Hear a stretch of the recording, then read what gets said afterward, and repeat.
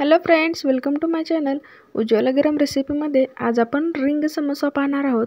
चला तर मग सुरुवात करूया आजच्या आपल्या रेसिपीला इथे मी एका बाउलमध्ये एक कप मैदा घेतलेला आहे. चिमूटभर मीठ टाकायचं आहे.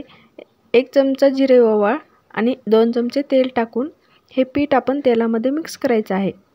आणि त्यानंतरच आपण हे पीठ मळून घ्यायचं आहे. थोडं थोडं पाणी टाकून हे पीठ मळायचं आहे.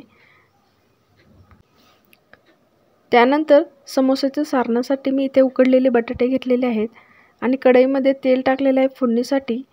त्यानंतर जिरे ओवा आणि लसूण पेस्ट टाकलेली आहे. त्यानंतर आपण जे उकडलेले बटाटे आहेत ते स्मॅश करून घ्यायचे आहेत आणि ते फोडणीमध्ये टाकायचे आहेत. फोडणीमध्ये आपण एक एक साहित्य टाकायचं आहे. यामध्ये मी हळद टाकलेली आहे थोडीशी. मीठ टाकायचं आहे आणि थोडीशी कोथिंबीर. हे व्यवस्थित सारण आपण मिक्स करून घ्यायचं आहे. आपलं हे सारण तयार झालेलं आहे आणि आता पीठही भिजलेलं आहे.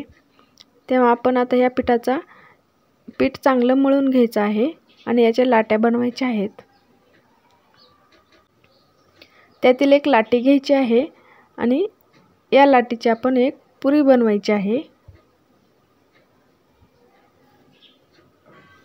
या लाटीची आपल्याला आता पातळ अशी पुरी लाटायची आहे.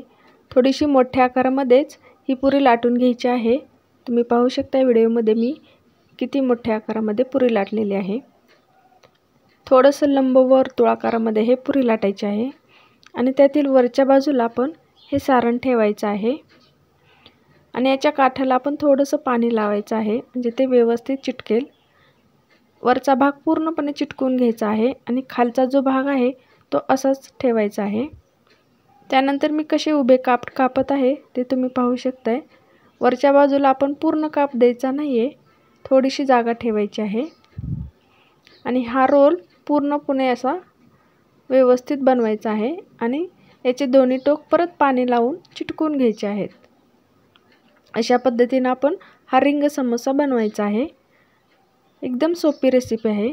त्यानंतर गरम झाल्यानंतर तेल यामध्ये आपण हे समोसे तळून घ्यायचे आहेत. तेव्हा तुम्ही ही रेसिपी नक्की ट्राय करून पहा. चला तर भेटूया मग अशीच एक रेसिपी घेऊन पुढच्या व्हिडिओमध्ये तोपर्यंत रिंग समोसा नक्की ट्राय करून पहा.